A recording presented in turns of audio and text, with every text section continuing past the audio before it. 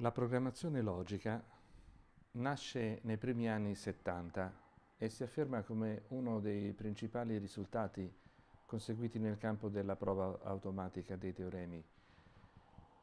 La ricerca di un procedimento generale per la dimostrazione dei teoremi è un'idea antica che può forse essere fatta risalire addirittura a Leibniz, quando nel corso della seconda metà del XVII secolo, nell'opera sul calcolo filosofico e sulla caratteristica, scriveva una volta, una volta fatto ciò, cioè quando avessimo trovato un sistema di prova automatica eh, della correttezza di un ragionamento, quando sorgeranno delle controversie non ci sarà maggior bisogno di discussione fra due filosofi di quanto ce ne sia fra due calcolatori Sarà sufficiente infatti che essi prendano la penna in mano, si siedano a tavolino e si dicano reciprocamente, chiamato se a loro piace un amico, calcoliamo. Questo progetto, cioè il progetto della prova automatica di teoremi, eh, fu ripreso agli inizi del XX secolo dalla scuola di Peano e negli anni 20 fu ripreso dalla scuola di Hilbert. Nell'intelligenza artificiale oggi la logica a cui facciamo riferimento come base è la cosiddetta logica del primo ordine. La first order logic.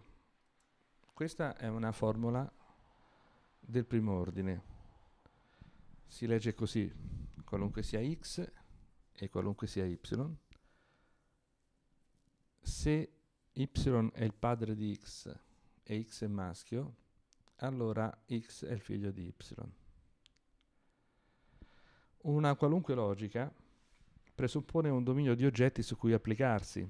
Questi oggetti possono essere uomini, cose, animali, o eh, in alcuni casi eh, la logica può anche presentare più domini, in questo caso la logica si dice multidominio o multi-sorted.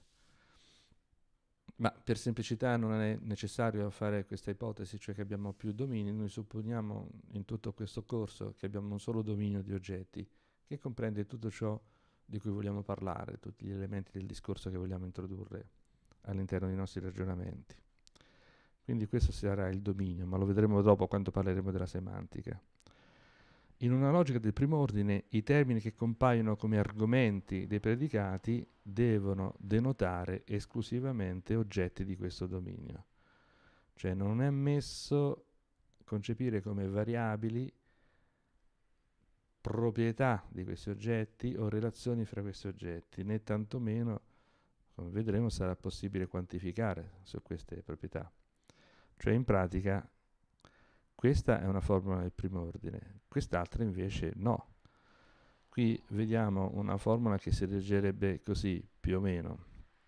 Qualunque sia la proprietà Q, qualunque sia la relazione binaria R e qualunque sia la relazione binaria P, se eh, x ed y sono in, in relazione P e x god della proprietà q, allora x ed y sono anche in relazione r fra di loro.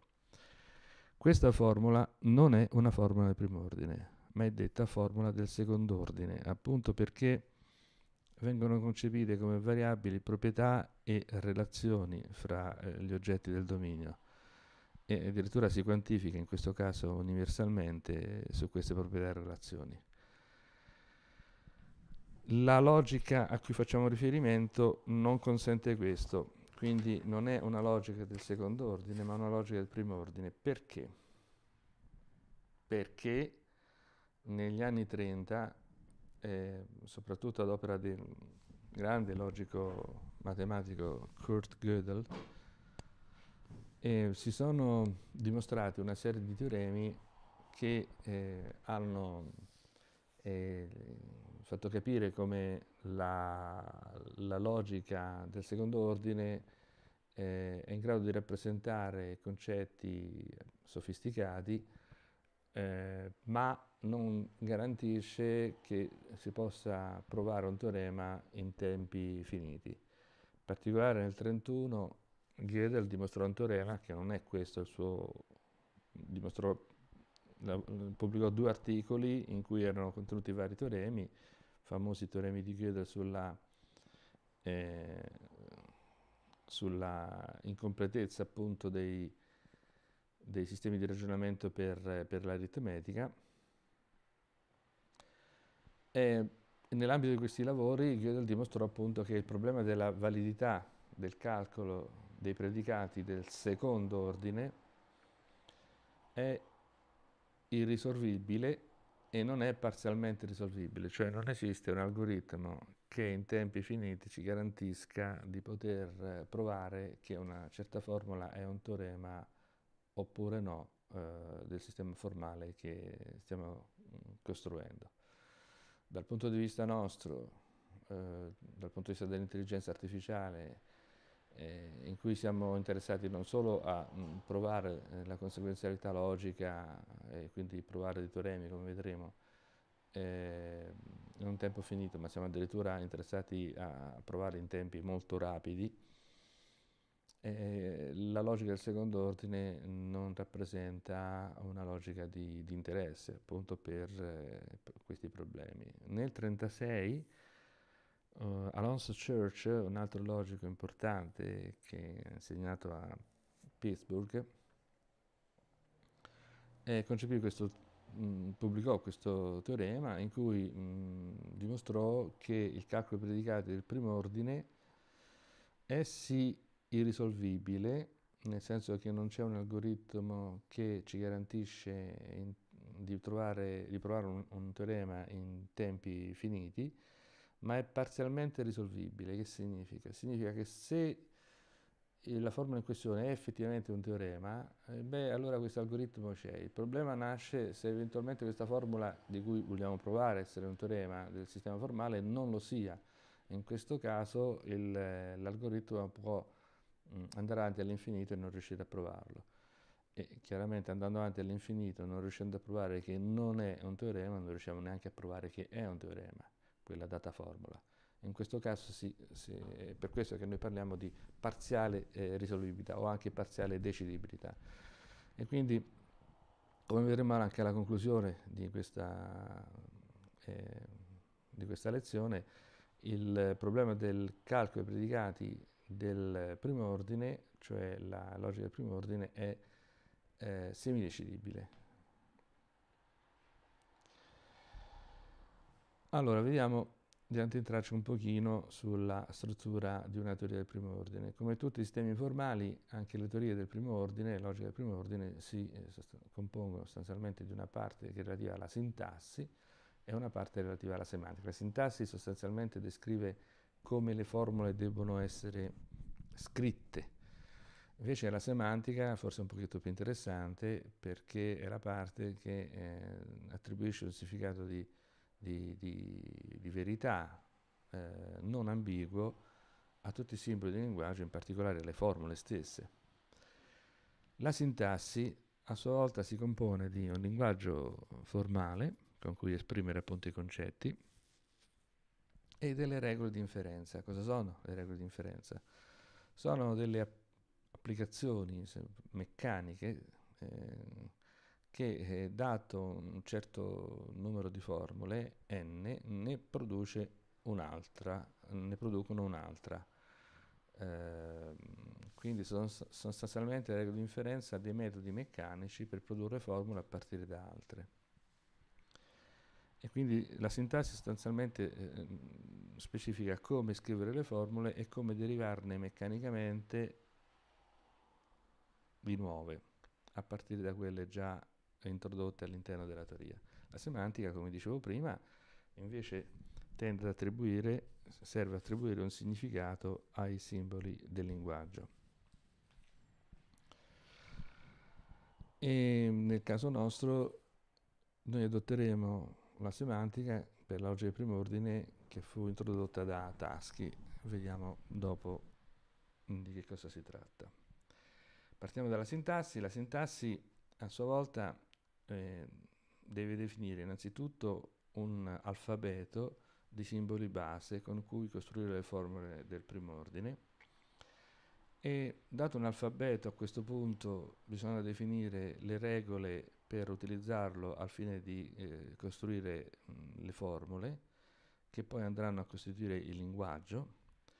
E poi sempre nella sintassi toccherà definire alcune formule come degli assiomi per poter poi eh, derivare da questi delle teorie e come dicevo prima eh, le regole di inferenza che vengono utilizzate per eh, provare i teoremi. L'alfabeto. Un alfabeto nella logica di primo ordine è costituito da sette classi di simboli. Innanzitutto le costanti individuali sono da pensare come nomi propri degli individui, cioè degli elementi del dominio. Noi in questa introduzione utilizzeremo le prime lettere alfabeto A, B, C eh, come convenzione. La seconda categoria importante di, di simboli dell'alfabeto sono le variabili, sempre individuali, cioè eh, informalmente, questo che stavo per dire attiene alla semantica, però per cercare di capire in che senso noi chiamiamo individuali queste variabili, mi, ricollego a quello che dicevamo prima, cioè sono dei simboli che serviranno ad indicare degli elementi del dominio generici, non specifici come le costanti, elementi del dominio generici. Non possono essere utilizzate queste variabili per rappresentare proprietà di questi, eh, di questi elementi del dominio o relazioni fra di essi. In questo senso si chiamano variabili individuali. Ancora, terza categoria di simboli importante, i simboli di funzione. E come vedete ehm, abbiamo, userò F, G ed H, mh, mm, e questi simboli di funzione eh, sono caratterizzati dall'avere una arità, cioè un certo numero di argomenti che qui indico con uh, un apice I per F, ehm, J per G e L per H e così via. Quarta categoria importante di simboli dell'alfabeto sono, eh, forse più importanti, i simboli di predicato. Eh, io qui userò P, Q ed R, anche i simboli predicati sono, sono caratterizzati dall'avere una rarità, cioè un numero di argomenti a cui applicarsi. Come vedremo i predicati saranno a rappresentare delle proprietà o relazioni eh, fra gli oggetti. Quinta categoria di simboli importante sono i connettivi logici. Così come furono introdotti da George Bull, anche noi oggi utilizziamo nell'oggi del primo ordine eh, i connettivi NOT per la negazione, LAND per la congiunzione, LOR per la disgiunzione, l'implicazione materiale, da non confondere con il concetto di conseguenza logica che specificherò in seguito, e, e la doppia implicazione. Poi ce ne possono essere anche altri, mm, in realtà non sono neanche tutti necessari per poter rappresentare tutta la, eh, la semantica del, di, di, un linguaggio, però eh, è comodo usarne eh, di più. Sesta fondamentale categoria di eh, simboli per quanto riguarda la logica dei predicati sono i quantificatori come sono stati sempre definiti all'inizio del XX secolo, soprattutto ad opera di, dell'opera di Russell e Whitehead nei principi della matematica, sono il quantificatore universale e il quantificatore esistenziale. Da ultimo, una categoria di simboli effettivamente non eh, importanti, servono solo per chiarire, a volte disambiguare il significato di una formula laddove ci sono delle ambiguità relative alle precedenze dei connettivi e dei quantificatori, sono le parentesi e la virgola. Queste sono le sette categorie di simboli che fanno parte di un alfabeto della, nella logica del primo ordine. È importante ovviamente, come ci dicevamo parlando di simboli ausiliari, definire anche le precedenze e anche la, le associatività, anche se qui non le ho riportate perché sono scontate, fra, eh, fra i connettivi e i quantificatori eh, per poter disambiguare il significato delle frasi. Noi eh, stabiliremo questa convenzione, la, ovviamente la adottiamo mh, mm, da, da, da, decenni passati, e cioè mh, mm, di avere eh, il NOT e i due quantificatori eh, nella categoria mh, mm, di eh, precedenza maggiore, e poi successivamente a priorità più bassa l'OR, a priorità ancora più bassa l'END, a probabilità più bassa di tutte i simboli di implicazione. Bene, definito un alfabeto bisogna andare a definire quali sono le regole per creare le formule. Nel caso logica del primo ordine le regole sono eh, semplici e ricorsive, ma eh, richiedono prima di definire il concetto di termine. Vediamo prima cos'è un termine e poi che cos'è una formula ben formata, cioè come si costruisce un termine e poi come si costruisce una formula ben formata. Un termine. Il termine è definito ricorsivamente così. Un termine è o una variabile o una costante oppure se f di arità n è un simbolo di funzione e t1, tn sono termini, allora f ad arità n applicato a questi n si, eh, termini, esso stesso è un termine. Quindi la definizione di termine è un, una definizione ricorsiva. Per esempio, se io ho che f è un simbolo d'arità 1 e a è una costante, f di a è un termine, perché a, essendo una costante, è un termine, f arita 1 applicato a un termine f di a mi dà un termine e così via. Le formule si chiamano formule ben formate FBF in italiano oppure well formed formula, quindi WWF in inglese. Come sono definite? Anche queste sono definite ricorsivamente in questa maniera. Se P è una lettera predicativa è naria e T1, Tn sono termini, allora P applicata a questi T1, Tn termini è una formula, in particolare eh, ben formata, in particolare è una formula che viene detta atomica, in quanto che non contiene né connettivi né quantificatori. Quindi è la, la forma base di formula.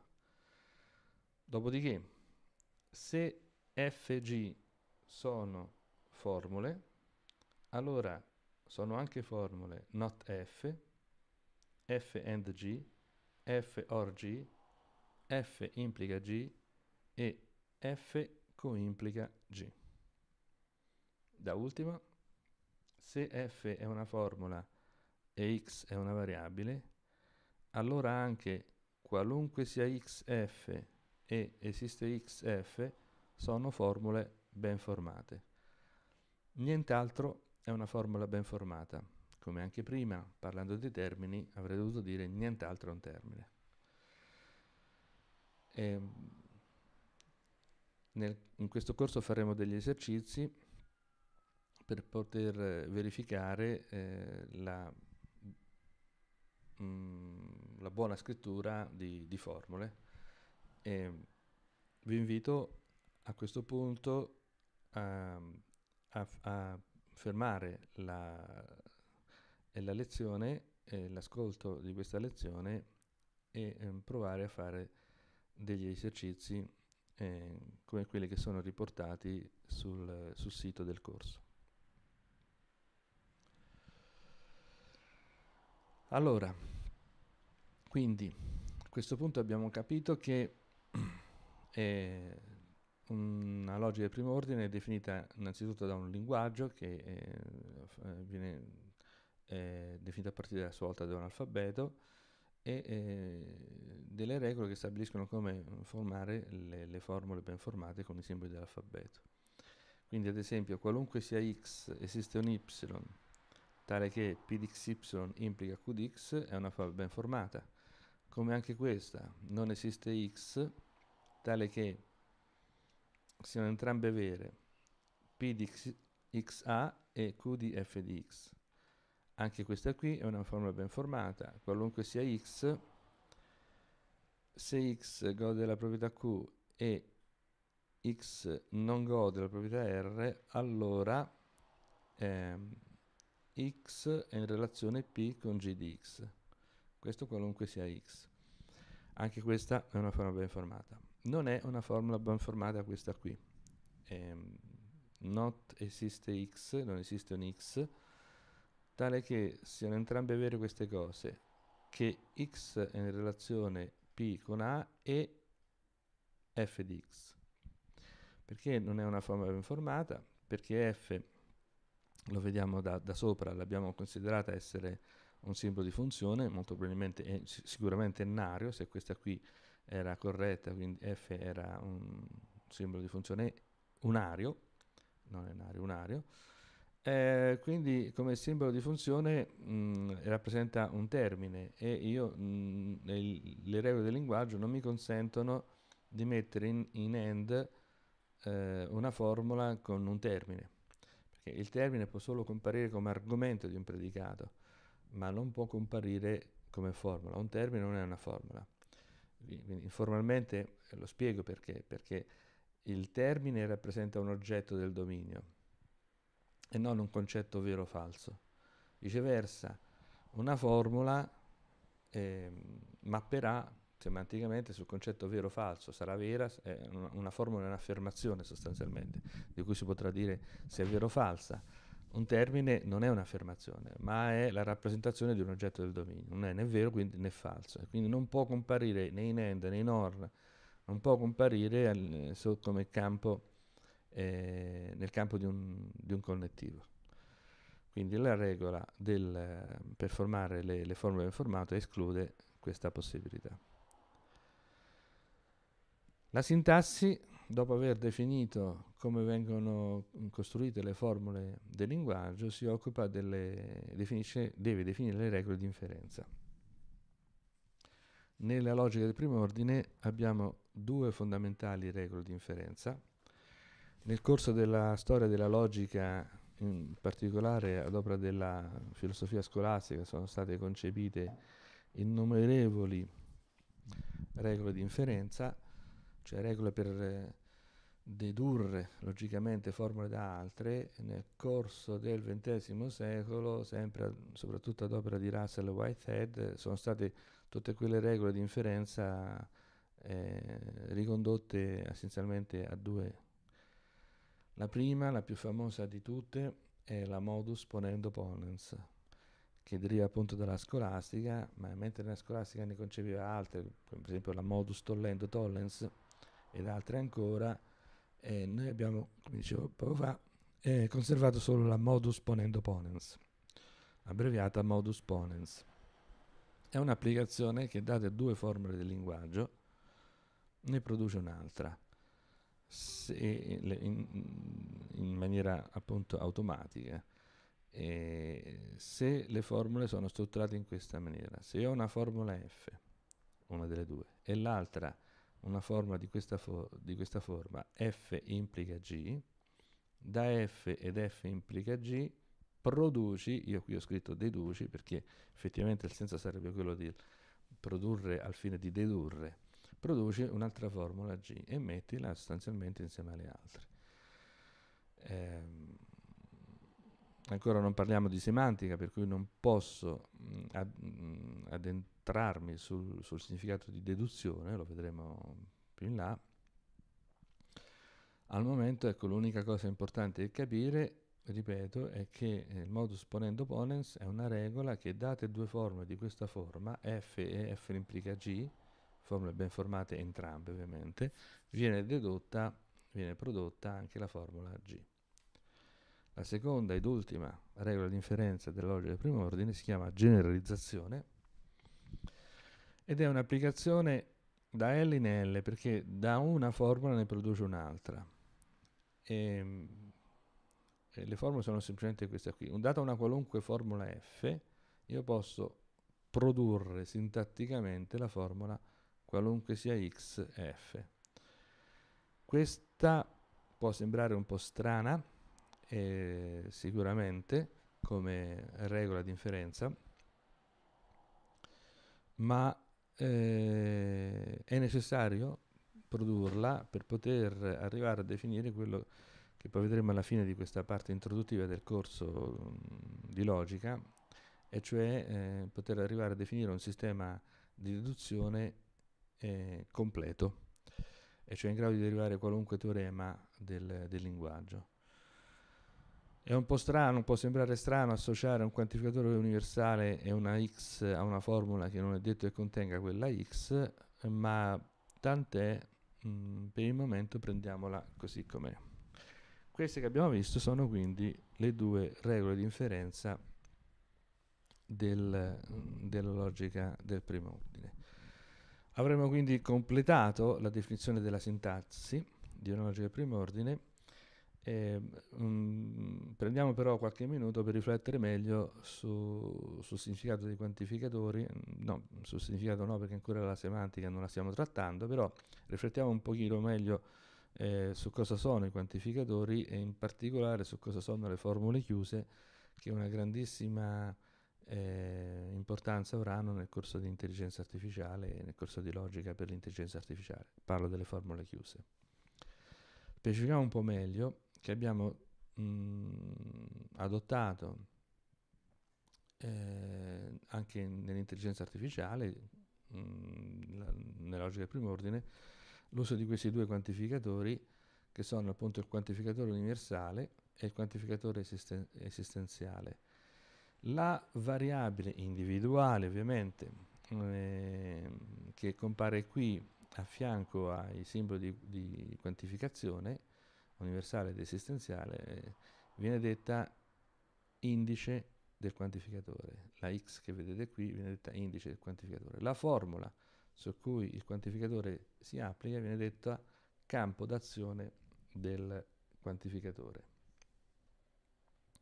Ora, ehm, cosa accade?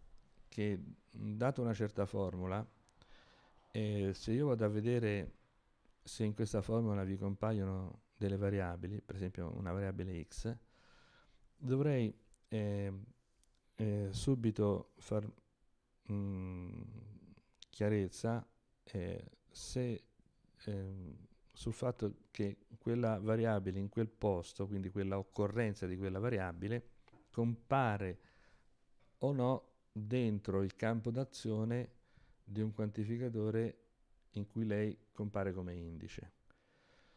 Perché se così è, allora quella occorrenza di quella variabile si dice occorrenza vincolata, vincolata perché compare nel campo d'azione di un quantificatore di cui lei è indice. Se invece così non è, allora quella occorrenza della variabile si dice occorrenza libera. Se non esistono dentro una formula delle occorrenze libere di variabili, allora la formula viene detta chiusa. Cioè che cos'è una formula chiusa? Una formula chiusa è una formula senza occorrenze libere di alcuna variabile. Per esempio, eh, la, la prima formula che vediamo qui cosa dice? Esiste x tale che P di xy. Ora, a causa della precedenza alta del quantificatore esistenziale, il campo d'azione del quantificatore esistenziale si esaurisce alla prima parentesi tonda chiusa. Non va oltre perché l'end ha una priorità più bassa del quantificatore esistenziale. Quindi l'occorrenza di x che compare all'interno di Q di x è libera. Non compare questa x qui all'interno del campo d'azione del quantificatore esistenziale.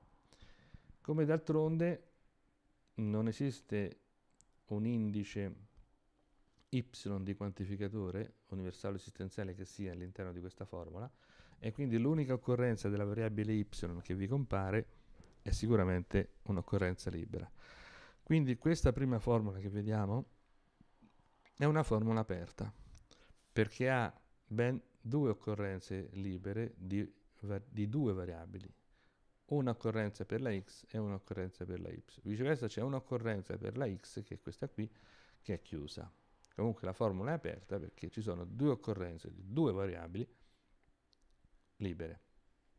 La seconda, abbiamo esteso il campo d'azione del quantificatore mediante un opportuno uso delle parentesi tonde a tutta la formula, ma la formula rimane aperta perché rimane l'occorrenza della variabile y rimane libera. Se poi anteponiamo alla formula anche un quantificatore universale che abbia y come indice, a questo punto tutta la formula sarà eh, priva di occorrenze libere di variabili e quindi eh, diventerà una, una formula chiusa. Le formule chiuse sono molto importanti perché eh, per poterne stabilire il significato del valore di verità non è necessario fare alcuna ipotesi sull'oggetto a cui una certa occorrenza libera di una variabile si riferisce e quindi sarà molto relativamente semplice eh, definire il valore di verità e, e mh, mm, andare a eh, definire se esiste una relazione di conseguenza logica fra una formula e l'altra, come vedremo fra un po'. Come vedremo appunto quando cominciamo a parlare di semantica, cioè adesso. Abbiamo chiuso la parte della eh, sintassi e quindi eh, facciamo una pausa e poi cominceremo a parlare della semantica della logica del primo ordine.